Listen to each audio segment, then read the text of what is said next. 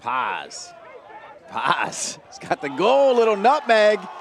Paz off the nutmeg, and it's 4 0. Loudoun United FC. Ku-Dipietro deserved a goal, and another goal for Loudoun United FC. Brought to you by Loudoun Economic Development, always here to help you with their business goals. You're- Talk about this goal from Paz. Little cheeky Neymar-esque.